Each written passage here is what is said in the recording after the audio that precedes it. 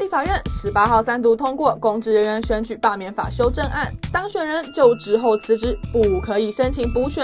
台南市前议长李全教因贿选二审定验当选无效，不过一审判决有罪时，一度传出李全教可能会先辞职再参加补选，规避当选无效不得参选的规定。立委因此提案修法，外界也称为李全教条款。民进党立委段宜康强调，辞职后又补选是出尔反尔，浪费国家资源。跟李全教没有关系。郑中心相煎何太急啊！报道。